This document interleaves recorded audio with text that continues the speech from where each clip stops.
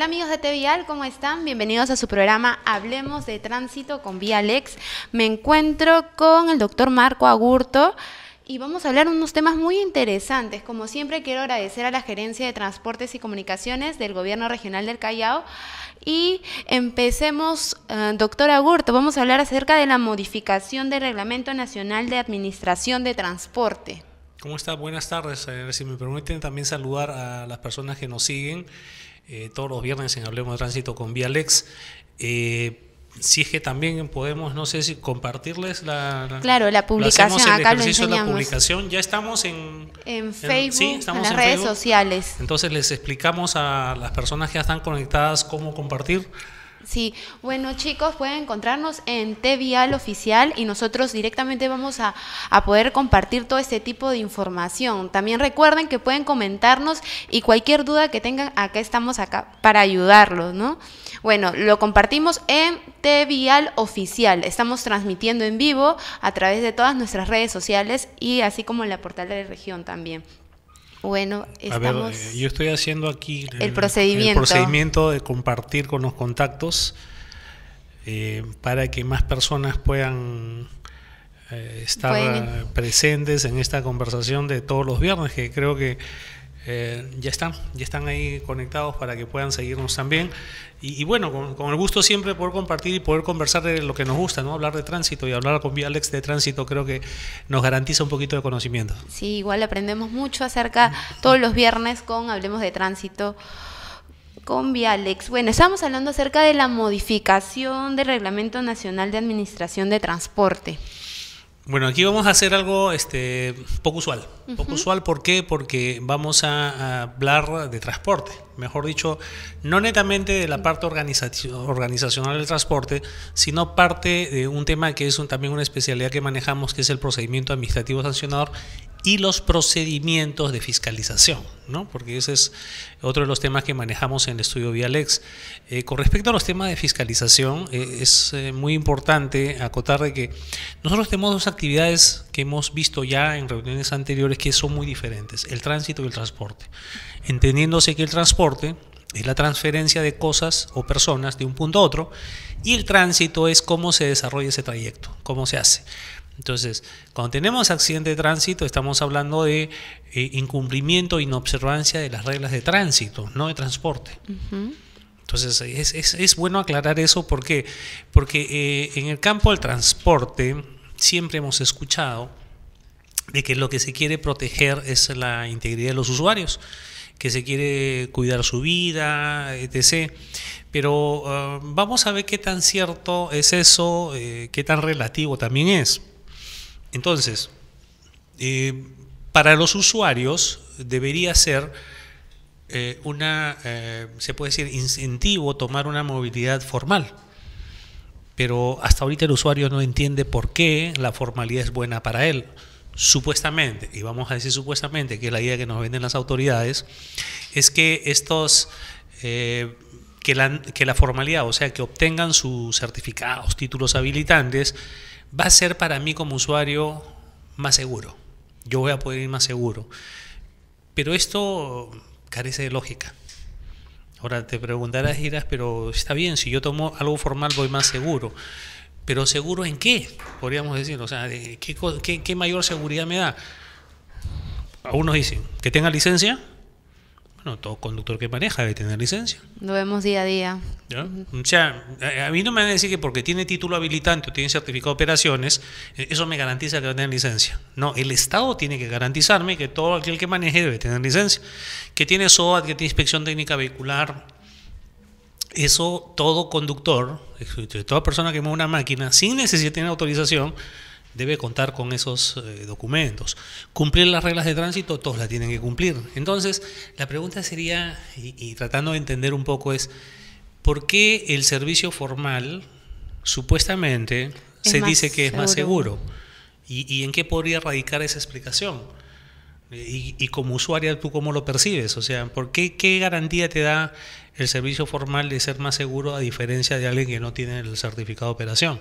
Claro, vemos que todos los días, por ejemplo, yo para dirigirme a mi centro de trabajos, que hay varios autos colectivos. Entonces, la gente se siente segura viajando en esos autos colectivos y sabe que va a llegar más rápido, quizás es eso las razones por las cuales los usan, o sea, no, no ven una diferencia entre el auto colectivo y ir en un taxi. La única diferencia de ambos es que quizás les cuesta más económico y... Prorratean el precio del viaje entre los cuatro ocupantes. Eso es lo que hacen, comparten el costo del viaje, ¿no? Si vienes de Caraballo a, a, la Avenida La Marina eh, y vamos a suponer que el taxi cobra 20 soles, pues lo prorratean entre los cuatro y cada uno paga 5. Claro. hacen su carrera por todo universitaria y llegan a su punto de destino. Pero eh, eh, el punto era cómo compensemos al usuario, cómo se convence al usuario de que el servicio formal, o sea, el que tiene autorización, es más seguro. ¿qué, seguridad, qué garantías me da? Y aquí es donde viene el, punto central. ¿no?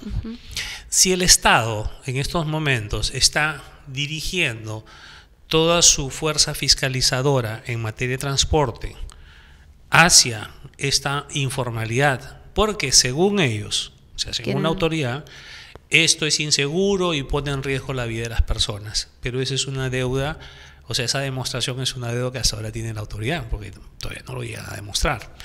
Pues bien, entonces, en, aras de ello, en, teniendo la necesidad, supuestamente, porque la mentira más grande es esta, ¿eh? tenemos la necesidad de formalizar, porque de esta manera protegemos los intereses de los usuarios. Y vamos a decir que ya hemos concluido que esto es falso. Sea, lo que queremos es Vamos a utilizar todos los mecanismos del Estado, esa fuerza represiva, para lograr conductas supuestamente adecuadas, pero en beneficio de los operadores de transporte y no del usuario, mm. porque el usuario es el gran ausente en esta, en esta pelea.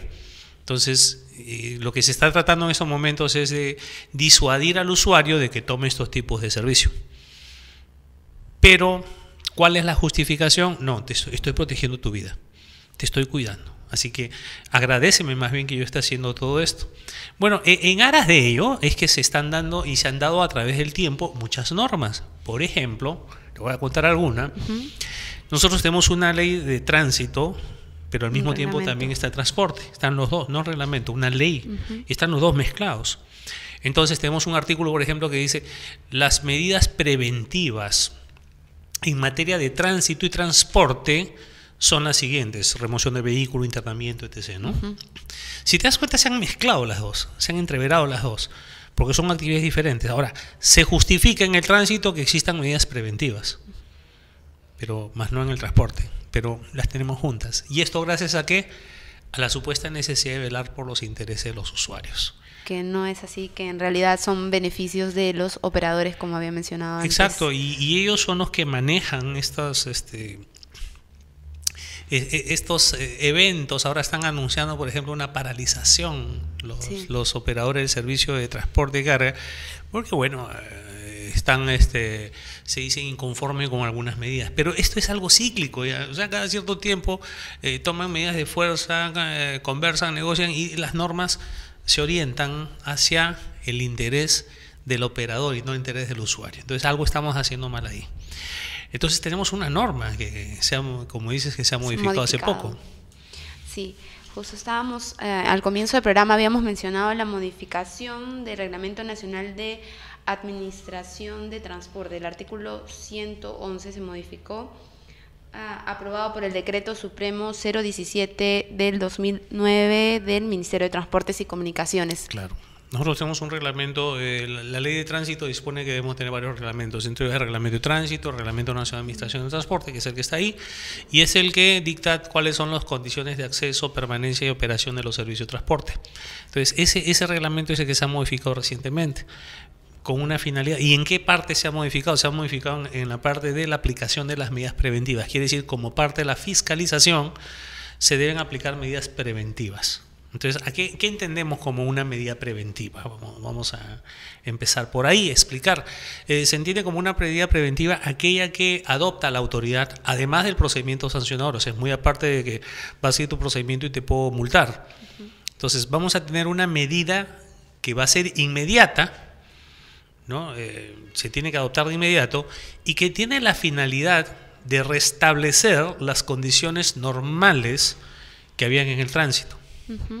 Entonces, por ejemplo, voy a poner un ejemplo. Si tenemos un vehículo que está circulando sin luces y un policía lo detecta en la noche, pues va a levantar una papeleta y se va a iniciar un procedimiento sancionador que tiene una serie de etapas hasta que se llegue a la sanción final.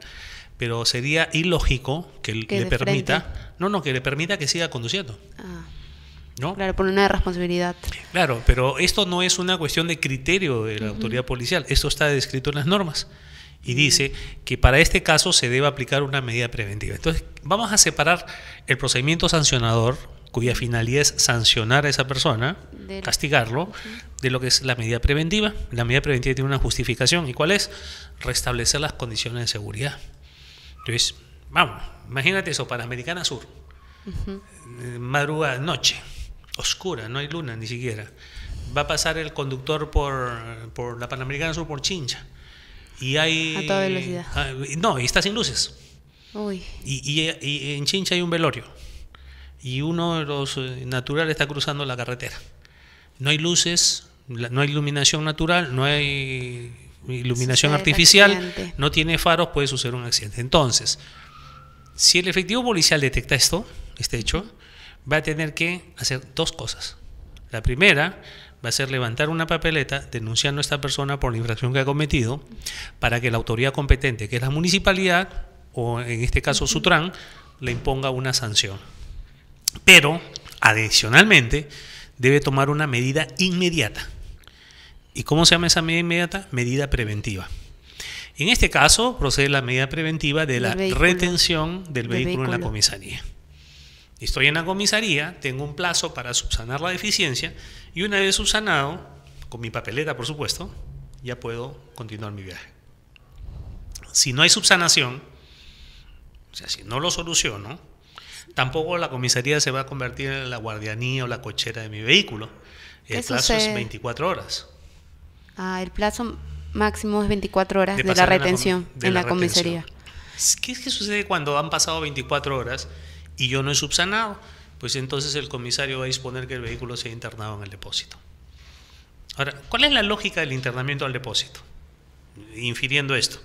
Bueno, el internamiento al depósito es una medida que se adopta posterior a, la, medida de retención, o cuando haya excedido el plazo de retención. O sea, tiene una utilidad. ¿Por qué? Y, aquí quiero explicar y ser enfático en esto. ¿no? Si el policía cuando vio este vehículo sin luces lo retiró a la comisaría, lo que él pretendía era que no continúe circulando hasta que subsane la deficiencia. ¿Sí? Pasó las 24 horas y durante ese tiempo estuvo al cuidado, bajo la vigilancia, bajo el cuidado de, la, policía. Pero la policía no hace custodia de vehículos, pues, o sea, no es una cochera, una guardianía que van a tener los vehículos ahí varios días. Entonces le dicen al conductor que tiene un plazo y el plazo es 24 horas. Si en 24 horas usted no me soluciona esto, se va al depósito. Entonces el comisario dispone el internamiento al depósito. Entendemos entonces que el internamiento al depósito, y acá quiero dejar muy claro, no es una medida preventiva. La medida preventiva es la retención del vehículo. Y la extensión del plazo de la medida preventiva le viene un internamiento al depósito. O sea, encontramos una necesidad. Vamos a ver las diferencias entre retención e internamiento. Hemos visto que la retención se hace en la comisaría.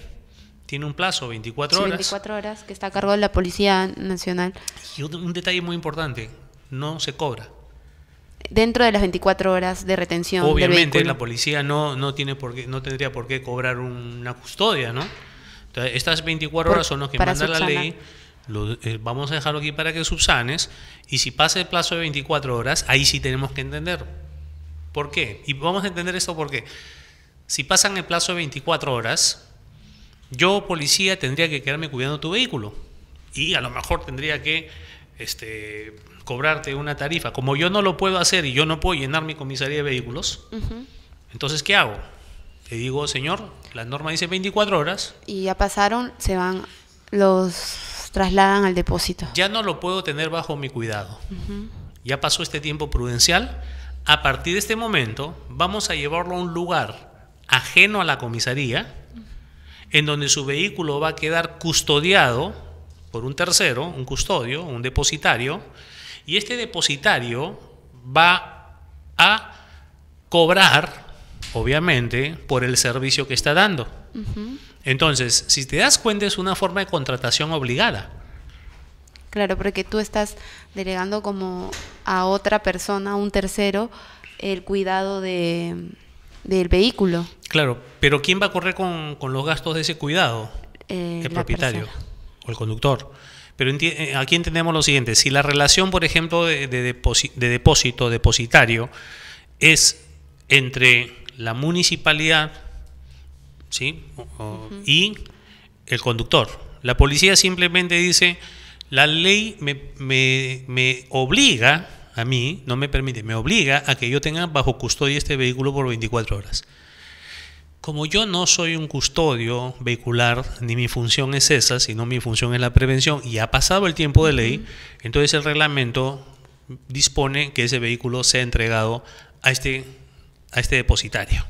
Y este depositario va a tener el cuidado debido sobre el bien, pero además va a tener el derecho de cobrar una tarifa, un monto, un honorario por la custodia del vehículo. Que el propietario es el, el que tiene que encargado que, tiene que pagar. Entonces, si analizamos de esta manera, nos damos cuenta de algo. En primer lugar, eh, la medida preventiva es retirar al vehículo de circulación, Ya. porque con eso estoy devolviendo las garantías al tránsito. ¿Sí? O sea, yo, yo policía, cuando retiré ese vehículo de circulación, ya he cumplido con mi función de garantizar La seguridad en el tránsito y la prevención de accidentes. Una vez que se produce esta retención, van a suceder dos eventos. ¿Cuáles? Las primeras 24 horas y las Eh, posteriores. Las primeras 24 horas en, La comisaría. en la comisaría con la Policía Nacional. Y después, pasado el plazo, pasa Si en caso un no subsane. custodiado por terceros. Si en caso no subsane, ¿no? Dentro de las 24 horas pasa un custodiado por tercero y ahí ya es la relación que tiene que ver entre el propietario y el tercero que está... Con el pago, obviamente, del derecho a la... Bien. Entonces, ya nos hemos dado cuenta de algo, creo, ¿no? Y a los amigos que siguen el programa, nos hemos dado cuenta de algo, de que no es cierto que el internamiento es una medida preventiva. No lo es. Es, una medida- Es simplemente un cambio de situación del vehículo que ha sido retirado de la circulación. Es eso, no es una medida preventiva. El, el internamiento no previene nada.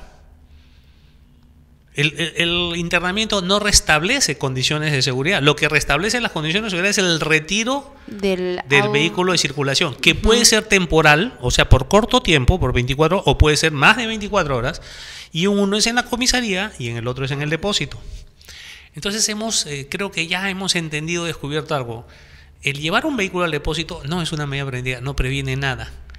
Nos- ahí vamos a decirles, ¿saben qué? No mientan, no mientan, porque mucho veo ahora que están saliendo noticieros que dicen, hemos internado 20 vehículos porque estamos cuidando la vida de los usuarios. Mentira. No tiene que... ¿Por qué lo han internado en el depósito? Porque aquí viene, aquí viene otro detalle. En la retención vehicular, terminado una vez que subsanas, te vas a ir primero sin pagar custodia, ¿sí? porque estuvo una comisaría, y segundo, sin tener el deber de pagar multa. Te vas con tu papeleta para que se inicie el procedimiento sancionador. Pero ¿cuál es la- la- lo que se ha creado? Mira lo perverso de esto. Si tu vehículo llega al depósito, vas a tener que pagar custodia y para retirarlo vas a tener que pagar la multa. O sea, ya es doble... No, no, ya no tienes, no, no, una cosa es la custodia y otra es la multa. Lo que pasa es que ya no vas a tener ese derecho de defensa, que sí lo tiene el que se va con su papeleta. Acá te dicen, no, pero no seas mal hablado, Marcos. Eh, sí, el reglamento dice que si tú pagas el internamiento al depósito y la papeleta, después puedes iniciar tu procedimiento sancionador.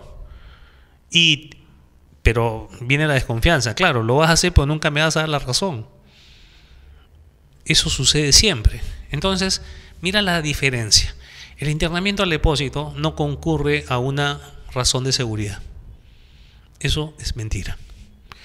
Concurre simplemente al hecho que no se puede exceder la, custodia, el deber de la policía de cuidar el vehículo, esa responsabilidad que le damos, por dos razones, ¿no? Primero por razón por el espacio limitado que tienen en la comisaría, y el segundo va a ser porque no es tampoco la función del policía estar cuidando estos vehículos.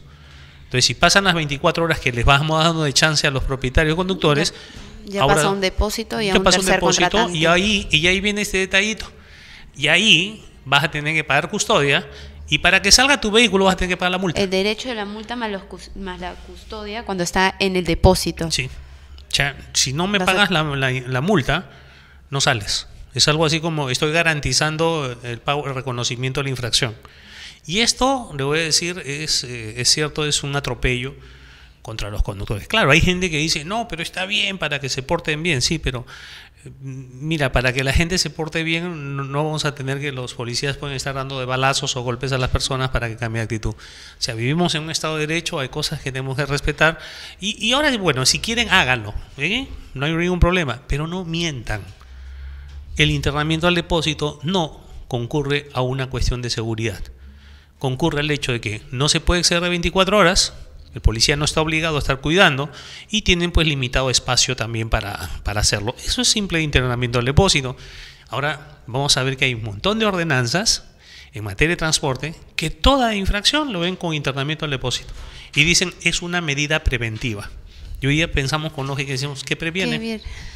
La medida preventiva es retirar al vehículo de, la, de circulación. Es correcto pero no tiene nada que ver cuando se envía eh, el auto después de el carro o el vehículo después de las 24 horas que puede estar en una comisaría a un depósito. Entonces esa no es una medida de prevención. Recalcar a los a los televidentes que si tienen algún tipo de dudas pueden escribir a través de nuestras redes sociales porque estamos ahora justo en vivo, así que cualquier duda que tengan nosotros estamos acá para ayudarlos y el doctor Marco Aurto Creo que ahí debajo están saliendo, estoy viendo que han puesto la, si lo pueden poner de nuevo en esta video por favor, ahí. ahí están, las, redes sociales. Nos buscan como T Vial Oficial en Facebook, así que estamos ahora transmitiendo en vivo, pero también estos videos son subidos posteriormente a través de nuestro canal de YouTube, así que lo pueden buscar para, para saber más información acerca de estas modificaciones. Y amigos, estamos, eh, estamos hablando acerca de la modificación del reglamento, así que venimos pronto con más información y muchas gracias, doctor Marco Agurto. Volvemos a transmitir en Hablemos de Tránsito con Vialex.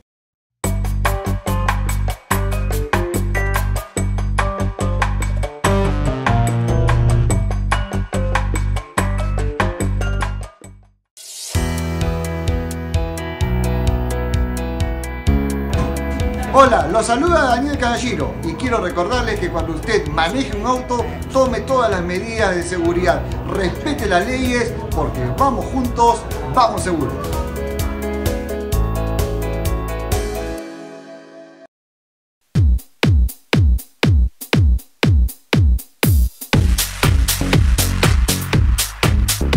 Hola, soy Daniela Fernández y por eso yo, si voy a tomar, no agarro el auto, prefiero llamar un taxi. Por eso, vamos juntos, vamos seguro.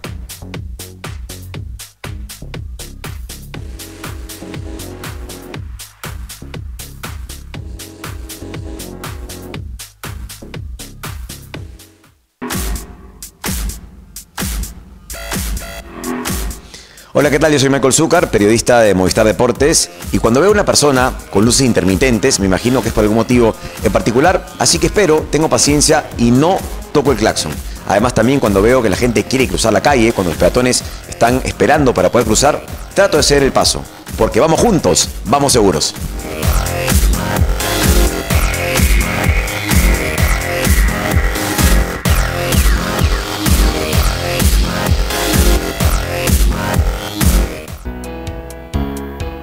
Hola, yo soy Paul Gastelo y cuando voy a cruzar la pista siempre lo hago por el crucero peatonal, porque cuando vamos juntos, vamos seguro.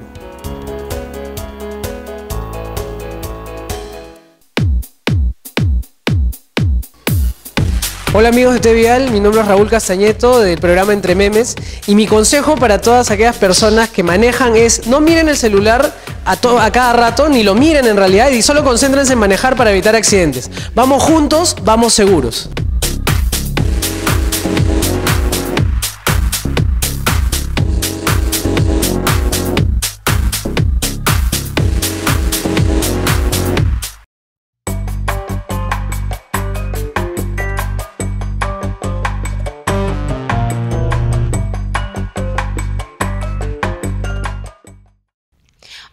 Tevial, regresamos en su programa Hablemos de Tránsito con Vía Lex. Estamos con el doctor Marcos Agurto hablando de la modificación del Reglamento Nacional de Administración de Transporte. Justo habíamos comentado acerca de las medidas de prevención, que sería retirar al vehículo de circulación y no como están por ahí diciendo que es meter los carros o los vehículos al depósito.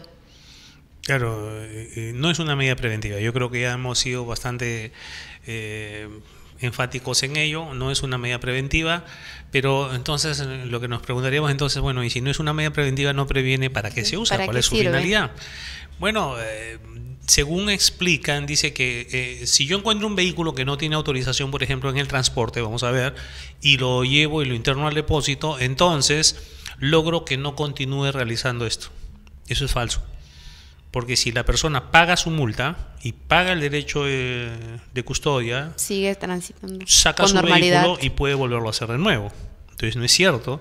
Lo que garantizamos es que se cumpla la sanción. Y si entendemos que la sanción tiene que ver con el pago, lo que tratan de garantizar es el pago de la multa.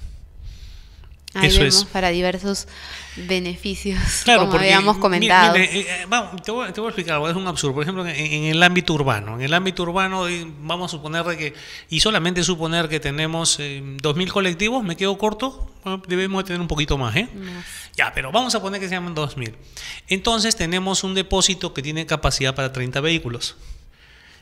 Significa de que si hacemos un operativo, mega operativo, y llevamos 30 vehículos al depósito, ¿no? Cerca de más de 1970 vehículos van a seguir prestando el servicio. Entonces, ¿cuál va a ser el efecto con respecto a la prestación del servicio? Ninguna. Pero sí va a tener un efecto sobre el cobro de esas 30 multas. Porque en realidad eso es la, la finalidad del internamiento del depósito. Bueno, y también quisiera saber qué pasa cuando justo con esta modificación del artículo 111 que habla del internamiento preventivo del vehículo, esa, hay una modificación porque habla de cuando no exista depósito oficial. ¿Qué se debe hacer en estos casos? Bueno, eh, aquí vamos a ver unos términos, ¿no? Eh, esta norma de la que, explicaste al inicio eh, tiene una finalidad. ¿Y cuál es? Eh, eh, de alguna forma reglamentar el internamiento al depósito para los casos de la informalidad o cuando vaya a necesidad internar un vehículo y nos encontremos fuera del ámbito urbano. Mm. Porque dentro del ámbito urbano tenemos un depósito cercano. Pero si estamos, por ejemplo, no sé, en el kilómetro 200 de la Panamericana Norte y a lo mejor no tenemos un, en kilómetros, no vamos a tener un, depósito disponible. Entonces, Aquí se han regulado dos procedimientos. El primer procedimiento es cuando tenemos un depósito cerca, a la mano, que presumo, eh, si hemos dicho de que el, internamiento al depósito no es una medida preventiva, pero aún así lo quieren aplicar para garantizar el pago de la multa y no para debilitar al, colectivo, como dicen, porque la mayoría sigue circulando, pero vamos a tener esta figura, ¿no?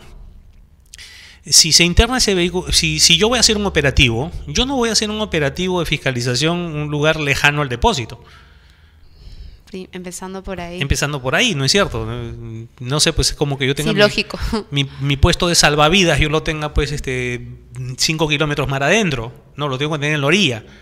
Entonces es igual, ¿no? Si yo voy a hacer un operativo, no lo voy a hacer en un lugar lejano. Pero vamos a suponer, ya dice, ya, porque el cuento, perdón, el, el argumento, y disculpen la palabra cuento, porque eh, bueno, es mentira, pues hay que decirlo con todas sus letras, ¿no? El argumento es que hay lugares en los cuales yo hago operativos y no hay depósito. Y ahí viene la pregunta, pues si no lo estás cercano, ¿para qué lo haces?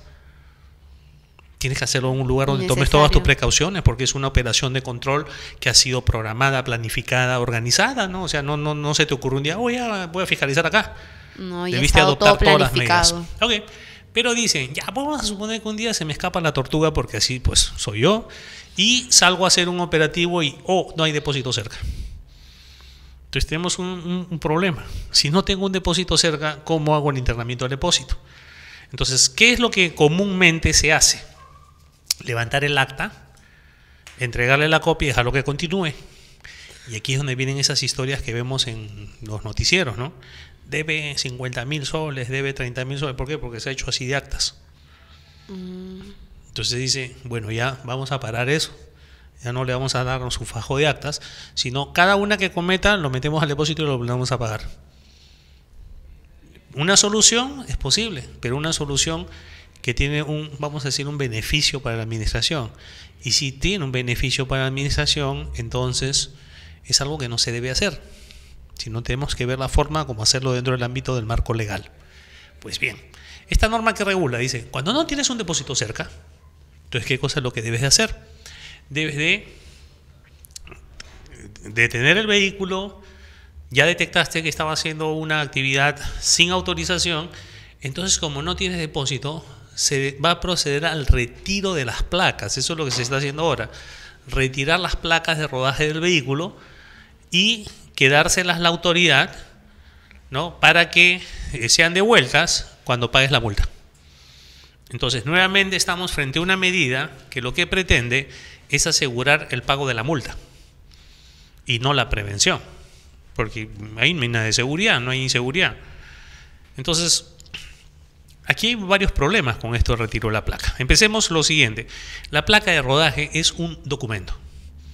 Claro, yo sé que muchos están pensando en este momento y dicen, oye, pero ¿cómo hace un documento si es un es una plancha así de metal y a ver, métala en su billetera o llévela en su en, su portadocumentos? No, la placa es un documento, ¿por qué? Porque es una eh, e, e, es un elemento que tiene este, elementos gráficos que van a dar fe de un hecho.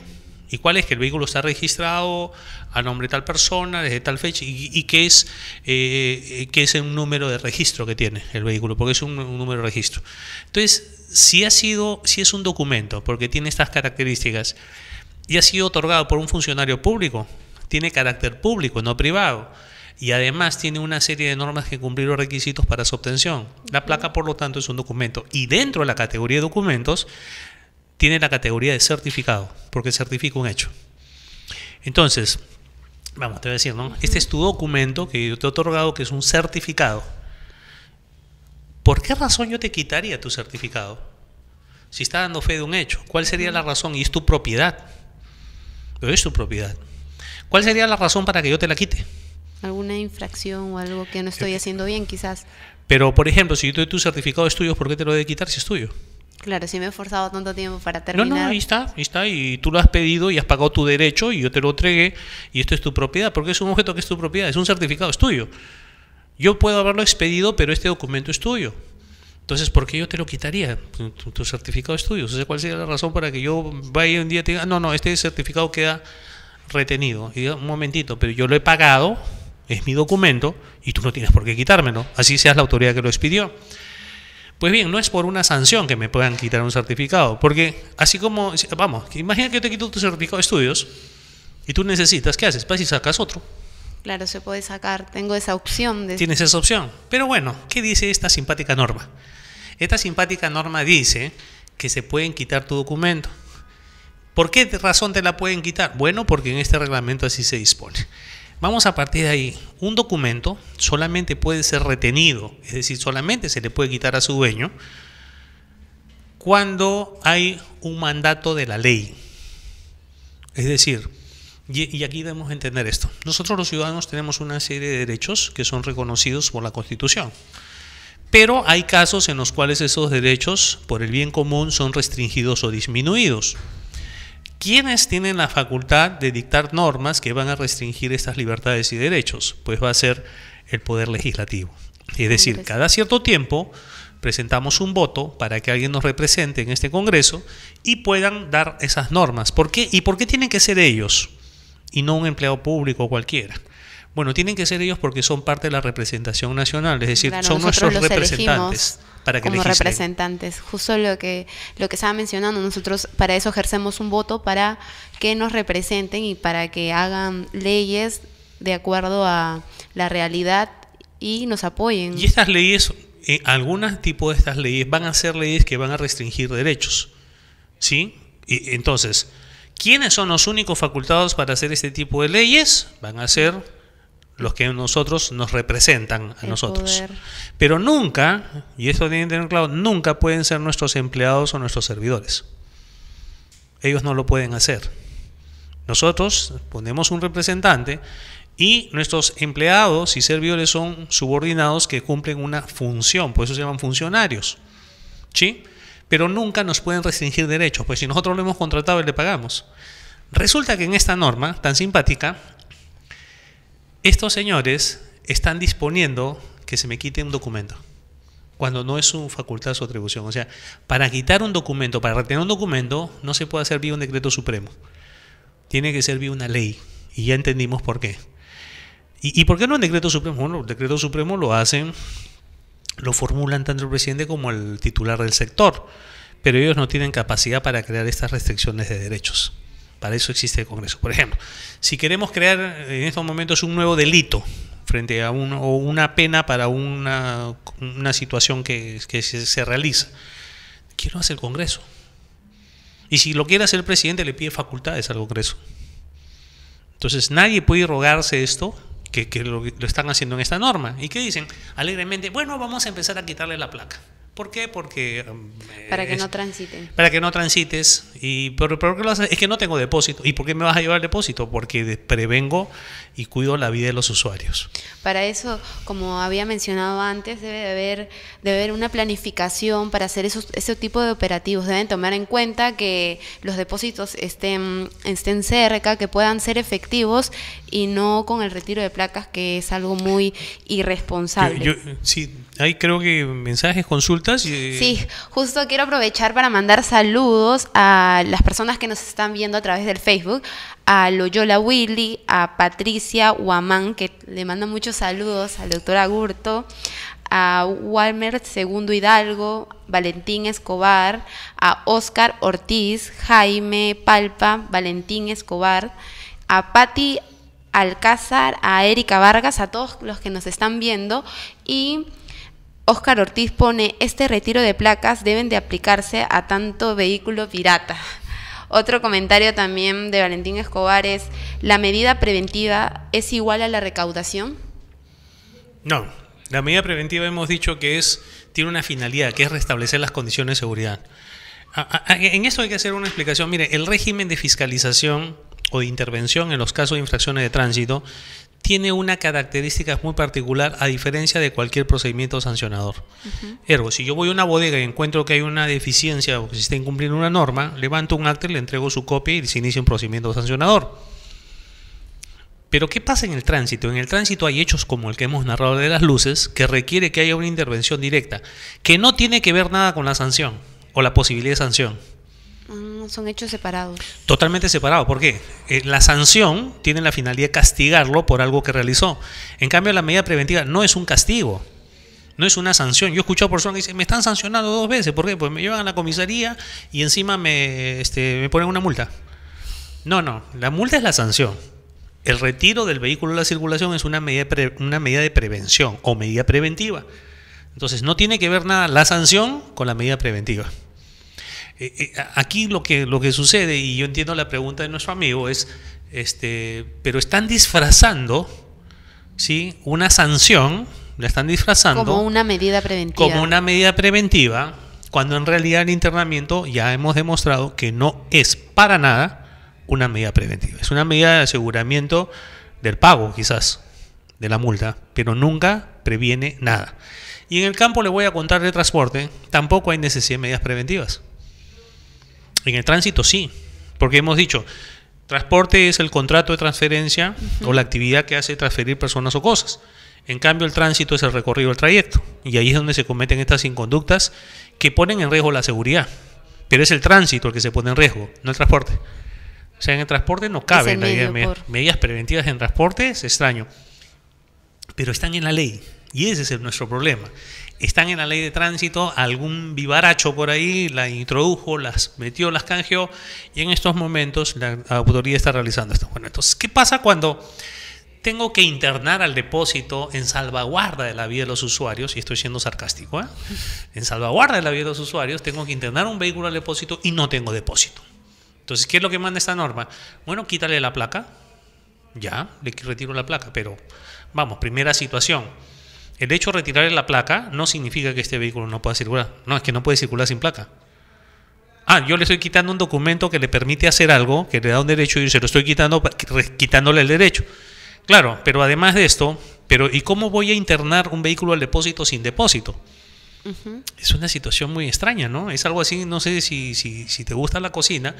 Bueno, no, a mí no me gusta, pero me gusta comer. sí. Y, y digo, imagínate un arroz chaufa sin arroz. No es arroz chaufa. No es arroz chaufa. Dice cualquier cosa. Imagínate un internamiento al vehículo al depósito sin depósito. Es eso lo que manda esa norma. Dice internamiento al depósito cuando no hay depósito. Yes. Espérate. ¿Cómo vas a hacer un arroz chaufa sin arroz? No, no, es fácil, mire. Como no tengo depósito, entonces le quito las placas. Oye, pero tú no estás facultado para eso. Claro, estás quitándome un derecho. No, y además que tú no tienes autoridad para quitar un documento a un ciudadano. El, el- el documento es per- le pertenece a él. Por ahí algunas personas me dijeron, sí, doctor, pero ¿y cómo la licencia de conducir se retiene? Claro, porque la ley de tránsito dispone que hay casos de retención de licencia de conducir y que eso lo van a hacer mediante reglamento. O sea, ya dispuso el legislador que eso lo van a hacer reglamentario, pero en esta parte nadie le dado permiso para crear este, este retiro de placas. Pues bien, continuamos. Luego de quitarle la placa, ¿qué hago? Le digo, mira, ahora lo vas a llevar tu vehículo.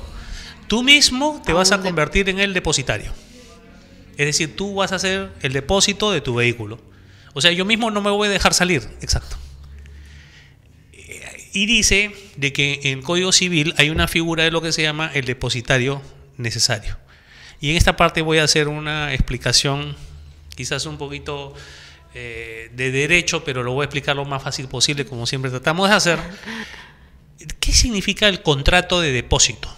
El contrato de depósito, eh, cuando hay un litigio judicial en el ámbito civil y necesitamos que alguien custodie un bien, ¿sí? podemos contratar a un depositario. Por ejemplo, hoy día nosotros tenemos un problema, una pugna por un objeto. Entonces, el juez, mediante el proceso, va a dilucidar el derecho. ¿Quién, a quién le corresponde ese objeto? Pero en tanto eso no ocurra, el objeto tiene que quedarse en un lugar. No se lo podemos dar a él, no se lo podemos dar a ninguna de las partes, En entonces se nombra a un depositario. depositario. Y el depositario es simplemente una persona que brinda un servicio. Y por eso que existe el llamado contrato de depósito.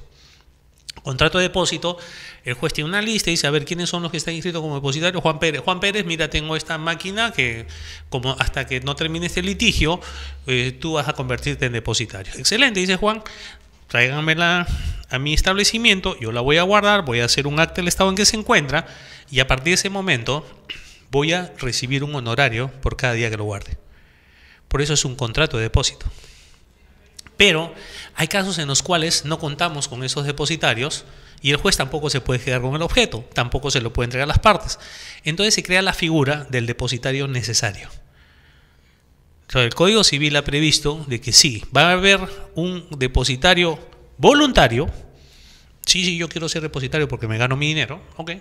Pero también va a haber un depositario necesario. ¿Y necesario por qué?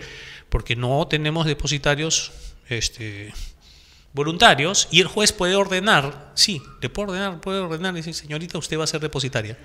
Y usted dice, ¿y yo por qué? Si yo no quiero realizar el, el depósito. Pero le dice, no, la ley me permite a mí nombrarla a usted y usted tiene que hacerme caso. Si entiende, si entendemos esta figura, veremos de que están vulnerando tu derecho de libertad de contratación. Te están Pero obligando a no contratar prestar un servicio. No. Te estamos obligando. Entonces, en el Código Civil se ha previsto lo siguiente. La figura del depositario necesario solamente se va a dar por ley. Es decir, solamente cuando la ley mande que te conviertas en depositario, vamos a vulnerar tu derecho a contratar. Te vamos a obligar a contratar. ¿Ok? ¿Podrá hacerlo entonces el ministro de Transporte? No. ¿Podrá ordenarte eso eh, jefe de la Sutran? Tampoco. ¿Podrá ordenarte un fiscal? Tampoco. Solo ¿Quién si podrá? está escrito en la ley. Solo ha escrito en la ley y dentro del proceso el juez lo va a disponer. ¿Podrá hacerlo un inspector? No, no está en las Menos. facultades. Menos, ¿no? Si estamos hablando de todos los rangos que nos hemos bajado hasta llegar al inspector. Entonces, ya, me quitaron mi placa y ahora que me dicen, señor, yo lo nombro así tipo reina, ¿no? Con su espadita, yo te nombro depositario necesario. Necesario. Disculpa, no hay ley que lo mande. Eso es uno. Y dos, tú no tienes atribución para, para vulnerar mi libertad de contratación. No, pero yo firmado un decreto supremo que dice que sí lo puedo hacer. Es curioso, ¿no? Pero sí, sí, yo sé que muchos están viendo están horrorizados en estos momentos porque dirán, no, doctor, no le creo. ¿Cómo va a ser posible que se hayan vulnerado tantos derechos de las personas, de funcionarios que se supone, porque tú estás también pensando algo, ¿no es cierto? No, doctor, usted está equivocado. Pues estas personas son funcionarios y ganan ese sueldo porque conocen la ley, conocen han todo, estudiado. Mm, han estudiado. Entonces no es verdad, no creo que hayan cometido tantas tantos errores en tan poco espacio, en tan poco papel. Y eso no es todo, falta más todavía. Dice que cuando te nombran depositario, y vamos a suponer que tú no quieres ser depositaria, me dices, no, yo no quiero ser, o sea, ¿a quién nombran depositario? Al mismo conductor que estaba manejando el vehículo. La figura de propietario o conductor no siempre se da, son a veces personas diferentes. Claro. Si tú Entonces dice, dice vehículo, por ejemplo. el inspector te dice, señor, le voy a retirar la placa y lo voy a nombrar depositario. Entonces tú dices, no, yo no quiero ser depositario. Además, usted no tiene atribuciones para nombrarme porque yo escuché al doctor Agurto que dice que no. Ok, no hay problema, dice. Entonces, ¿qué cosa voy a hacer cuando me quedo con ese vehículo? Voy a tomar mi, mi tablet o mi laptop que me han dado para fiscalización y voy a este, buscar la dirección y el nombre del propietario. Y a él lo voy a nombrar como depositario necesario. Entonces, mira, eh, mira la- todo un- No, no, pero mira la figura, ¿eh? Vamos a suponer que tú eres la dueña del vehículo y alguien lo manejó y se le ocurrió hacer colectivo o sospecharon que era colectivo, ya ni siquiera lo estaba haciendo. Entonces, mira lo que le van a hacer a tu vehículo, ¿eh? Le van a quitar la placa y le van a decir, señor, usted es depositario. Y esa persona, vamos, tu pariente, tu hermano va a decir, pero yo, ¿por qué voy a ser depositario? Yo no quiero ser depositario. Entonces van a buscar en la base de datos de registro de propiedad vehicular tu nombre y tu dirección y van a llenar un acta nombrándote depositaria. Mí, como dueña del vehículo. Depositaria del bien. Pero mira, te están nombrando depositaria en ausencia. No estás presente. Otra más, te están nombrando depositaria, es algo que yo te diga, mira, te doy esto, lo cuidas, pero ojo que tú eres responsable de ello.